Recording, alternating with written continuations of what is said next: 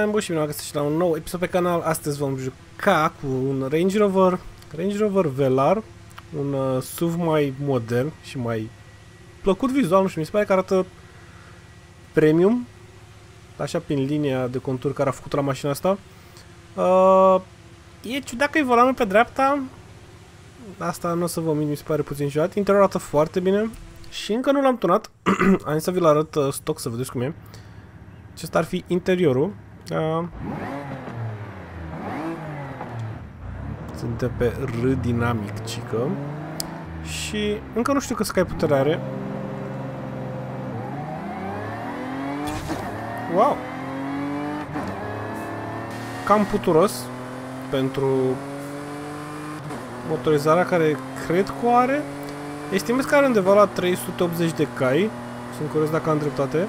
Dar mi se pare atât de puturoasă încât timp să cred că are mai puțin. Arată foarte bine totuși mașina. Foarte curat. Se simte că este o mașină grea. Motorul nu sună wow. Și dacă nu accelerăm... Avem ceva explozii la evacuare. Hai să aflăm cât Sky putere are. 360... 380... Da, pentru cât de grea este mașina, e putere slabă. Ce problema n-ar fi neapărat cai cât văd că Newton metru abia scoate 440 cu greu. Și dacă o subturezi degeaba că nu se comportă ca un diesel. Ok, deci un 375 cam pe acolo. Deci, da, pentru o mașină care cred că are 2 tone 200 E slăbuț. Hai să vă arăt festival ce puteți obține. Puteți obține un uh, Aston Martin One 77. Aici a fost așa puteți la McLaren Speedtail 2019. Am făcut un video cu mașinare, cum să vă ce să vedeți. Încă o mașină de off care încă vă interesează. Asta e mașina de la eveniment. Eu deja o am, de-aia vă arăt direct și n-am farmat-o. Uh, Super Wispin, aveți aici un uh, Aston Martin DBS SL 2019 care e mișto, nu e rea. Și aici aveți uh, un McLaren Senna, dacă vă coafează, să zic așa. Hai să mergem să turnăm mașina asta, să vedem ce performanță putem obține din ea. Că tin să cred că putem face motor de 1000 de cai. Mamă, 400 Nm este dezamăgit. Chiar sunt curios ce tonaj are. Deci dacă aș folosi motorul stock, deci are 2 tone 120, 375 de cai cu 450 de Nm. Dacă păstrăm motorul stock și turnăm de curiozitate, am putea să-l facem așa rapid. Sunt curios dacă tare.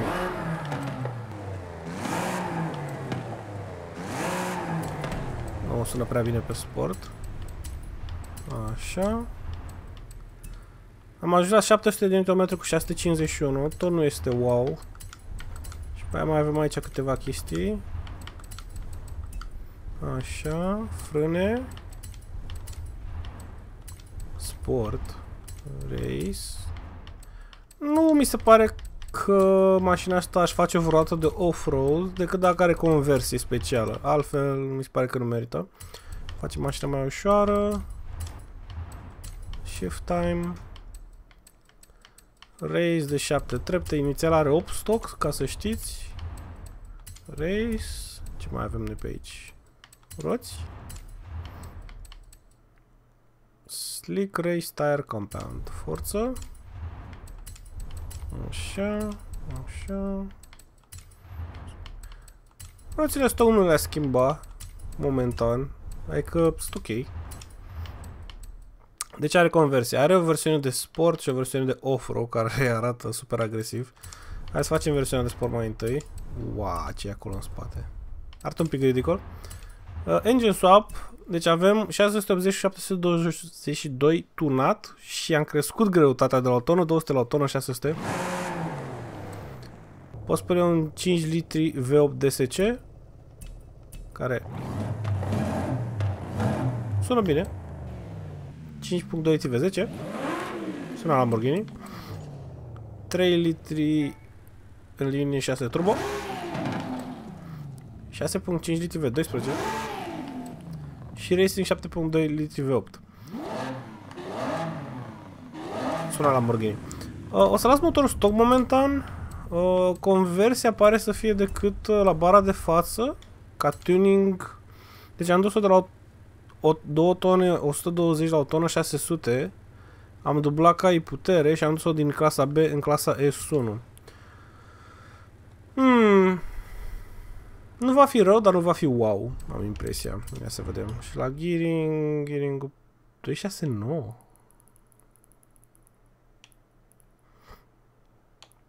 De 6, 9. E aero așa agresiv?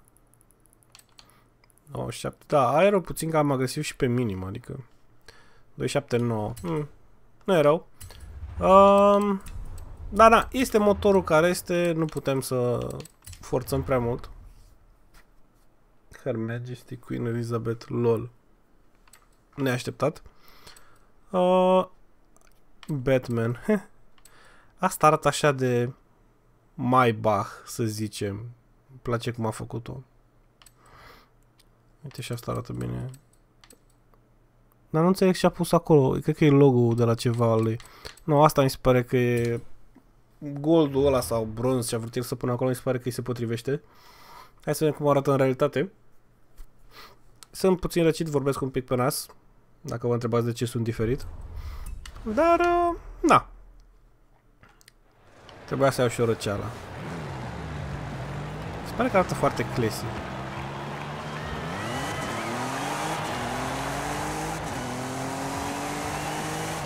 Toate că avem 700 de cai, se comportă ca și cum aș avea 300. Adică pe frâne mi se pare că stă bine, dar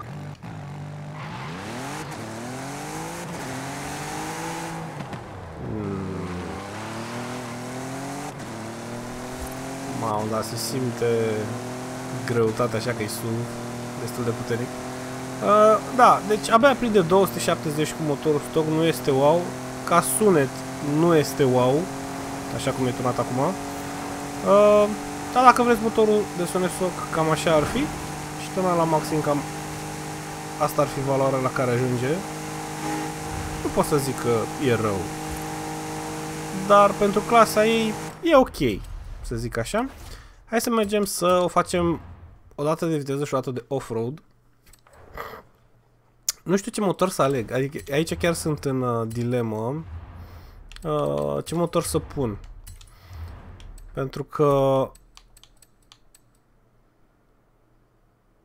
mi se pare că e o mașină de V8, nu de V12 și o să pun ăsta, dar o să-l schimb când o fac de off-road. Fiți atenți aici așa. Mamă, 1070 de cai. Așa, și se resetează cutia de viteză, cred. Sau nu? Nu s-a restat, ok. Așa, și aici. Mai punem niște cai, că nu avem destui. Nu ți-aș 1050 de cai pe un Minus 4 kg. 76 de cai și aici mai adăugăm încă 1356 de cai. Dar am pus 100 de... Nu am pus 100 de kg, am pus aproape 100 de kg. Dar am câștigat foarte mult Sky, am dus-o la un S2. Um, apare mașina asta nu poți să o duci în 999. Nu cred că poți. Orice motor ai pune. Dar, cutia de viteză acum are unde să ducă. 317, 350... 353. Aparent e o barieră de Cred că de aerodinamică de aer, să zic așa, cu toate că avem totul sta pe minim.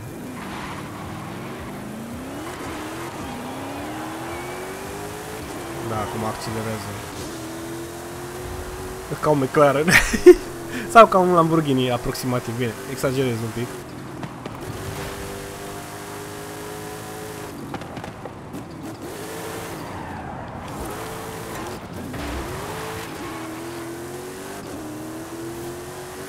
Number Lama, lor. Deci eu nu cred că pot să-l prim pe ăsta din urmă.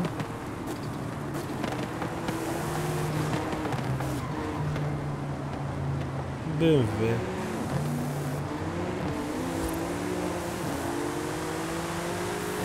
Deci ăla cred că poate să mă bată să-mi dea rușinică pe toate nivelele. Și totuși nu mă depășește. O fi stoc? Nu cred că e stoc. I-am făcut loc. Da, mă depășește, n-are cum. Da, avea cu mașina asta prinde ușor 320 și tunat așa la mișto. Dar... Uh, opa! Opa! Patinează un pic spatele. Acum prindem 350, e ok. Sună bine. Dar... Wow, dar pe frâne chiar este... E, e cam dificil să oprești, adică are un ruliu foarte puternic. Da, e o mașină grea, dar cu toate că avem slick tot, mi se pare că... Asta chiar evită traficul, știi? Ceea ce de obicei... Uh, de obicei vedem traficul diferit, adică eu după asta o văd aici, de el o văd în altă parte. Brilliant. Mergem sincron. Suntem amândoi la 340. Suntem aproape sincron la top seed. El are mai mult ca a început să mă ajungă. El are 356, cred. 358. A început frână. Ok. Și frână. Cam asta e frâna fără să blochezi roțile. Adică ați văzut și voi că s-a simțit că m-am chinuit să mă opresc cu ea, știi? E, e puțin dificil. Hai să mergem să o tunăm uh, mai departe. Să încerc să vă arăt și versiunea de off-road rapid. Um, yeah. Action... Nu, action. Așa. Deci avem bara de față. Suspensii. Bun. Uh, cauciucuri. Off-road. Și schimbăm motorul. Să pun asta. E bine. Uh, și avem 8 litri. Ăsta am zis. Așa. Să verific cutia de viteze. Nu e nevoie. Bun. Trebuie să schimb diferențialul pe off-road și să îmblăm la motor rapid. Așa. Să vedem cât cai ajunge motorașul ăsta. N-am așteptat să ajungă la 1000. Așa. Dar dacă obțin 800, sunt mulțumit. Turbo îl punem ultimul ca să vedem diferența finală. Așa, și acum turbo. Avem 738, 800, 894, aproape 900 de cai cu 970 tor. Deci motorul ar fi mai bun de V8 oarecum, dar ăsta și S1809. Um, cred că îți dă echilibrul ăla mai bun între tracțiune și talpă, să zic așa. Și mi se pare că te ajută mai mult la racing pe pământ, pe off-road. Gearing-ul e cam ciudățel, o să-l dau mai așa. Am top speed-ul na 318 irrelevant. Hai să ieșim. Bă, uite.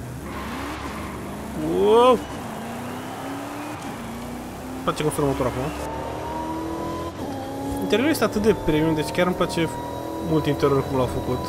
E și simplist, curat, nu avem o tabletă mare acolo în stânga sus. E, e una în stânga acolo, dar nu e așa mare, nu e atât de proeminentă ca în alte mașini. Că nu vreau să zic hello to the other drivers. Vreau să merg aici. Hai să facem puțin over cu ea să vedem dacă am avut dreptate.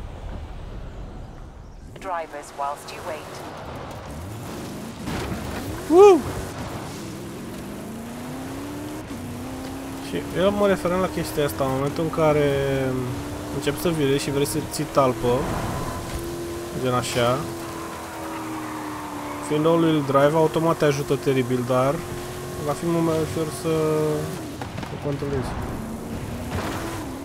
Opa. Ba.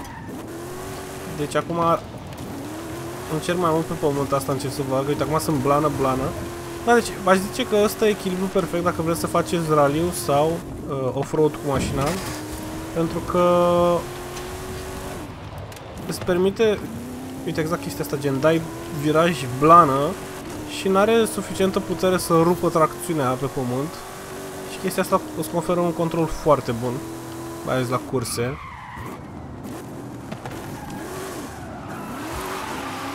Și arată și badass, să zic așa, cu chestia aia acolo.